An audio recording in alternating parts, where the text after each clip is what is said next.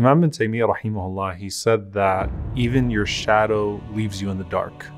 And we feel that at times when we're most in need, that the people that we thought we could count on are not there. And that drives you to Allah subhanahu wa ta'ala, that drives you to call upon Allah.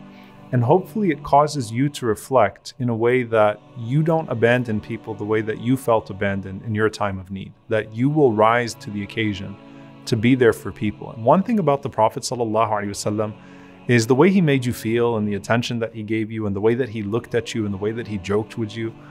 All of that was there, but what was also there was that the Prophet ﷺ would not leave you in your time of need, even if his need was greater than yours.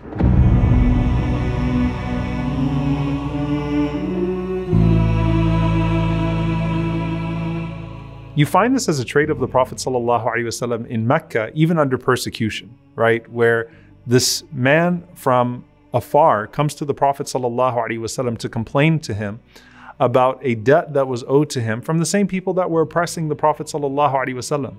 And the Prophet ﷺ takes this man who he doesn't even know to the door of Abu Jahl, who he knew very well, who used to torture the Prophet ﷺ and murder his companions and demand that Abu Jahl pay the man back. So, how was it then for people that knew the Prophet when you had established a relationship with him? First and foremost, Jabir radiallahu ta'ala anhu says the Prophet ﷺ was never asked for anything to which he responded no.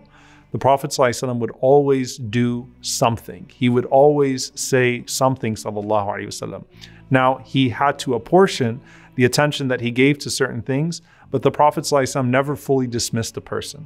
And that starts off, by the way, with his charity. And even if a person took something from the Prophet ﷺ in a harsh manner, the Prophet ﷺ did not respond in like manner. Anas radiallahu ta'ala anhu says, I was walking with the Prophet ﷺ one time, and he was wearing a mantle of Najran with a thick border. So he had this garment with a very thick border. And this Bedouin man came to the Prophet ﷺ and he started to pull at that mantle so violently that he left marks on the neck of the Prophet ﷺ. And he's saying, A'tini mimma a'taq Allah, give me from what Allah gave to you. And he said that the Prophet ﷺ, he turned to him, he smiled at him, and then the Prophet ﷺ simply took off that burd, that mantle, and he gave it to the man. ﷺ. And on top of that, Anas radiallahu ta'ala anhu said, he ordered for him a portion of the sadaqah, a portion of the charity. So if someone asked the Prophet ﷺ, a sa'il, the Prophet ﷺ would give and that was not always monetary. The Prophet ﷺ would intervene on behalf of anyone that asked for his intercession. We already mentioned that, especially with the orphans, the Prophet ﷺ would intervene on their behalf for anything because they were the most susceptible to exploitation. The smallest disputes, the Prophet ﷺ would be brought in and he would intervene. If there was a territory dispute between neighbors about where a garden starts or finishes, the Prophet wasallam would intervene and he tried to make peace between the neighbors. If you had a debt that you needed to be paid, if the Prophet sallallahu could not pay the debt on your behalf, the Prophet alaihi wasallam would go to the one that you owed the debt to and he would encourage him to be lenient towards you. If you needed to get married, the Prophet sallallahu would look for a spouse for you.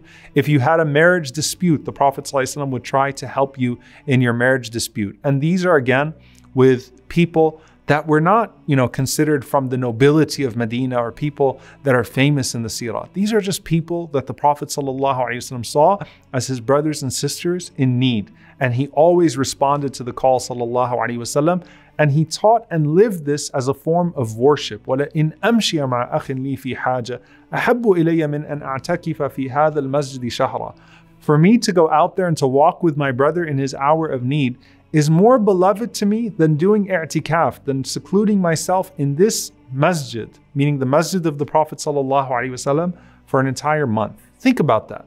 And one of the beautiful descriptions of the Prophet ﷺ in that regard is the way that he would do so. Abdullah ibn Abi Awfa radiallahu ta'ala anhu, he says, وَلَا يَأْنَفُ أَن يَمْشِيَ مَعَ الْأَرْمَلَةِ وَالْمِسْكِينِ فَيَقْضِيَ لَهُ الْحَاجَةِ that the Prophet ﷺ was not too proud to be seen walking with the widow and walking with the orphan, walking with the poor person, all the way until he fulfilled their need.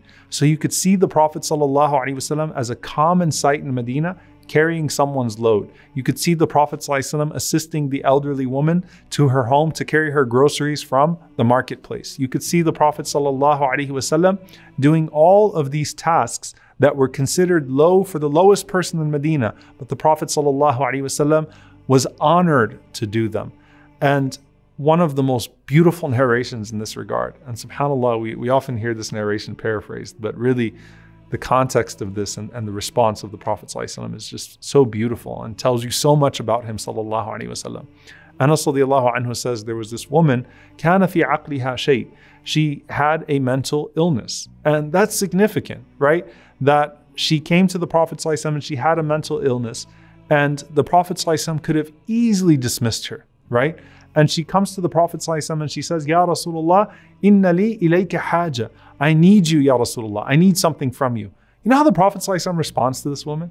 He responds with such love and such attention. He says, Ya Um Fulan, khudi ayyat turuqi shi'ti faqumi fihi hatta aqumu ma'aki. He said, Oh, mother of so and so, pick any place in Medina, choose any path that you want me to be in, and I will go exactly where you call me to. Call me to any place, call me to any task, and I will go there with you. فَتَنْطَلِقُ بِهِ حَيْثُ شَاءَتْ She would take the Prophet ﷺ wherever she wanted in Medina. SubhanAllah. How beautiful is that? The most important man in society and this woman could come to the Prophet ﷺ and she could say to the Prophet ﷺ, I want to go here, I want to go here. And the Prophet ﷺ would go with her all over Medina to do whatever she needed. And not once did the Prophet ﷺ remove that comforting smile from his face or make her feel like she was insignificant or she was a burden upon him.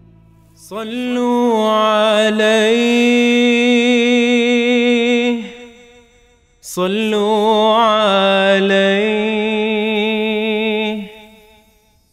صلى الله عليه وسلم.